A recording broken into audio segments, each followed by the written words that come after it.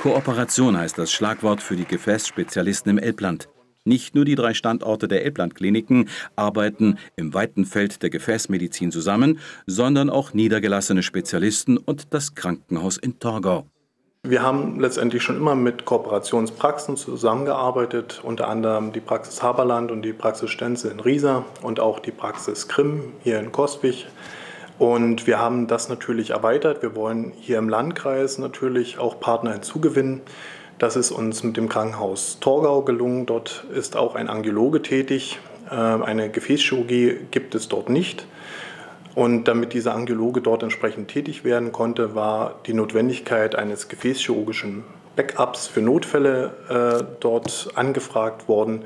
Und so konnten wir die Kooperationspartnerschaft dort entsprechend ausbauen. Unter großer Beachtung der Fachwelt wurde die Kooperation mit dem Torgauer Krankenhaus feierlich besiegelt. Die Zusammenarbeit im interdisziplinären Gefäßzentrum der Elbland-Kliniken bündelt dabei Kompetenzen der Standorte und bringt vor allem den Patienten Vorteile. Es gibt Situationen, wo doch der Gefäßchirurg operieren muss und wir betreuen wieder nach oder diagnostizieren vor. Andererseits äh, gibt es dann auch äh, Sachen, wo der Gefäßchirurg sagt, der Patient ist äh, sehr schwer krank, zu alt, kann nicht operiert werden aufgrund von seinen Erkrankungen oder, seines Alters.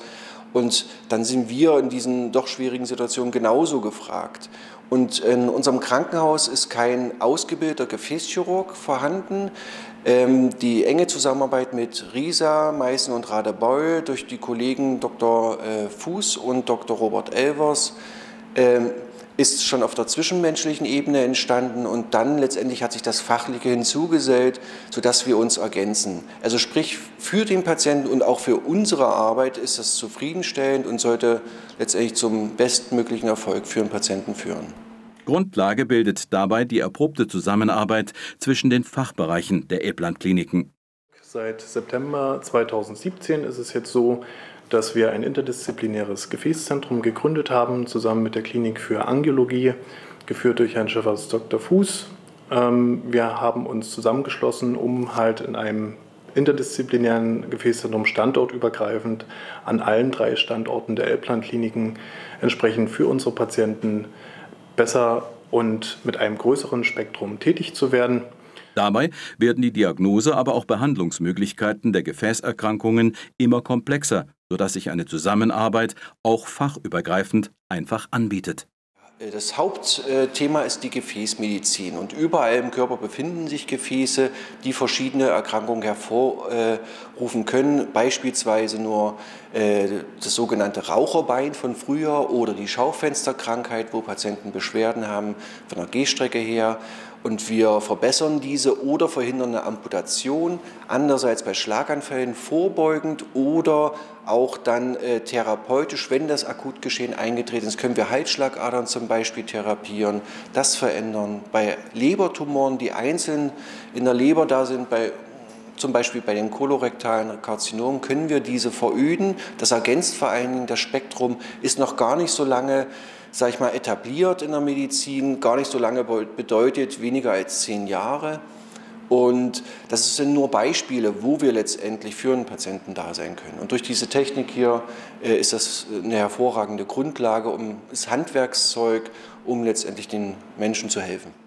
Dabei können durch entsprechende digitale Kommunikationsmittel Diagnosen in Sekundenschnelle zwischen den Standorten ausgetauscht werden. Aber auch die Vernetzung mit den niedergelassenen Ärzten wurde auf eine neue Stufe gehoben.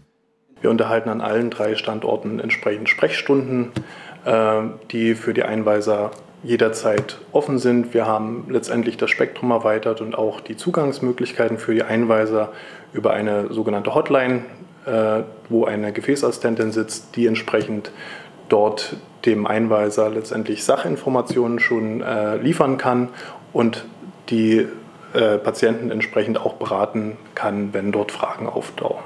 Interessiert wurde von den Fachkollegen das Leistungsspektrum des Gefäßzentrums aufgenommen. Es gab zahlreiche Rückfragen zu den modernsten vorgestellten Therapiemethoden bei komplizierten Erkrankungen der Gefäße sowie viel Anerkennung für die neu geschaffenen Behandlungsmöglichkeiten für Patienten in einem großen Einzugsbereich. Zusätzlich haben wir unser Spektrum an den Standorten weiter ausgebaut. Wir haben also die große endovaskuläre Chirurgie mit großen Aorteneingriffen an der thorakalen Bauchschlagader und an der abdominalen Bauchschlagader erweitert. Und wir haben das endovaskuläre Spektrum im Bereich der peripheren Gefäße deutlich erweitern können durch die Mitarbeit von Herrn Chefarzt Dr. Fuß auf dem Gebiet, sodass wir dort entsprechend qualitativ und quantitativ deutlich zugewinnen konnten.